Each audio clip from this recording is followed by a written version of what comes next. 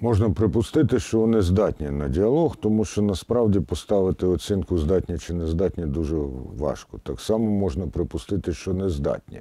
Ми ж чудово розуміємо, що чимало з того, про що вони говорять на різноманітних ток-шоу, це для того, щоб показати, щоб засвідчити або свої ідеї, або навпаки непримиренність і всяке таке. З іншого боку, коли я чую, що немає конструктиву в тому, що кажуть політики на різноманітних теле і радіопередачах, я думаю, ну а наскільки було б краще, якби вони казали, ми це вирішимо так і так, ми це вирішимо так і так, ми пропонуємо те-то і те-то. Е, Воно би створювало, на мою думку, в багатьох випадках лише видимість конструктиву. Адже часто за такими обіцянками насправді нічого не стоїть. І людина, яка може е, висунути якусь ідею, яка захопить багатьох людей, ця ідея за ближчого розгляду може виявлятися абсолютно нікчемною. А з іншого боку, найкраща ідея, яка справді може бути обґрунтована і так само висловлена, може не знайти підтримки у парламенті або в уряді, і тоді воно теж. От. Ну, щодо того, е, чи здатні хто на конструктивний діалог і на відповідне розуміння проблем Сходу України, я так скажу, що мені здається, що люди, які там не побували, особливо в останній час, та, після того, як почалася війна, ой, не хочеться бути категоричним, але вони не здатні зрозуміти все, що там відбувається.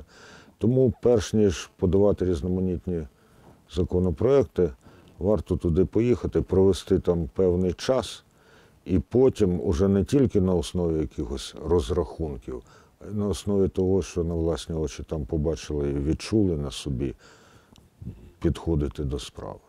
Е, А потрібно зрозуміти, чому люди так були настроєні проти української держави, чому багато з них і досі настроєні, а дехто навіть більше настроєний проти української держави, ніж раніше. Не шукати пояснень лише у ворожій пропаганді або лише в тому, що Донбас якби був, ну, є така теорія, думка, що Донбас було віддано на відкуп так званому Донецькому клану. А, ну, до речі, і е, становище на Луганщині було інакше, ніж на Донеччині, а у Маріуполі і Приазов'ї ще і третій варіант. Ну, тому потрібно бути там, потрібно постійно спілкуватися не тільки з аналітиками чи там парою десятків блогерів, які поширюють свої думки, а з е, тими людьми, які були і є, і по цей, і по той бік лінії розмежування. Мені е, знову ж таки важко сказати, хто що має там зрозуміти, тому що люди сприймають по-різному. Дехто в упор, що називається, не бачить навіть коли десь перебуває і може це помацати. От іншим потрібно лише один-два рази буквально побачити те, що відбувається, і поговорити з тамтешніми і не тамтешніми людьми, щоб зрозуміти. От, але без особистого знання і без особистих вражень. Ну, не тільки проблеми, так е, що називається Донбасу, чи, скажіть, Сходу України, але й проблеми Київщини, Галичини чи Надніпров'я теж ж не вирішиш. Я вважаю, що за можливості потрібно розмовляти із Захарченком. Так, кажуть, що він московська маріонетка, я схильний дотримуватись тієї самої думки. Але е, історія знає багато прикладів, коли маріонетки в той чи інший спосіб могли бути виведені з-під впливу своїх господарів. І якщо є змога говорити з ними, то потрібно говорити і з ними. Але не менш важливо і, до речі, більше досяжно в- цьому плані це розмовляти із так званими простими людьми, а також з тим прошарком людей, які не просто живуть і зберігають там своє існування, а які все ж таки є активними, в тому числі активними проти України. Я не маю на увазі зараз воюють проти України, хоча і з цими, напевне, можна говорити. Тільки шукати із боку української, ну, України тих, хто може і здатний говорити. Я маю на увазі різноманітних людей, які справляють вплив на достатньо великі групи людей. Та? Вчителі, артисти, бухгалтери і так далі. І так далі. За першої ліпшої змоги говорити ну, от буквально з ким завгодно. Ну, дехто хоче, а дехто просто розгублений, а дехто змінює своє ставлення з плином часу. Уже зараз, от той дуже короткотерміновий візит е, до Донецька, він був два роки тому і кілька, ну, два роки, два тижні тому, приблизно так. Але уже сьогодні я знаю людей, які тоді мене засуджували, а зараз вони кажуть, ми би зробили або так, або щось подібне. Вони за цей час переконалися в потребі розмови. От. І мене це насправді дуже-дуже тішить. Е, Шкода, звісно, що воно забирає так багато часу, але з іншого боку, не можна ж скомандувати. Мисліть так, як подобається мені. Ну, тому є певні. От проблема діалогу ще й з тим, що хто з ким говорить. Не тільки з ким говорити, а й проблема ж в тому, хто буде говорити. І е, для різних груп людей по той бік потрібно, щоб з ними розмовляли приблизно однакове становище люди з цього боку. Під час поїздки до Північної Ірландії і Ірландії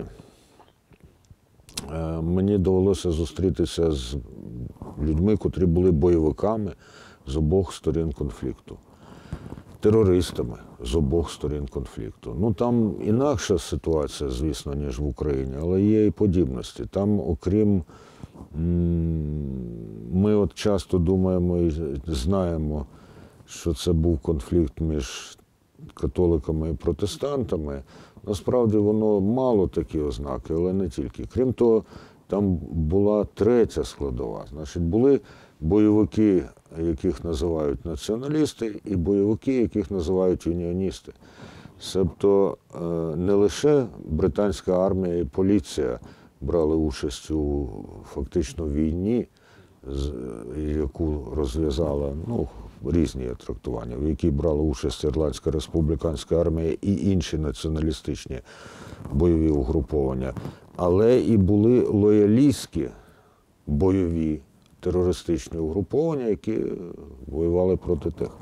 От. І от я з ними розмовляв, і це люди, які дивилися одне на одного через приціл, як кажуть, а вони, зрештою, почали розмовляти. І ефективність була саме в тому, що розмовляли одні з одними. Тому що я, ну, такі ж, так?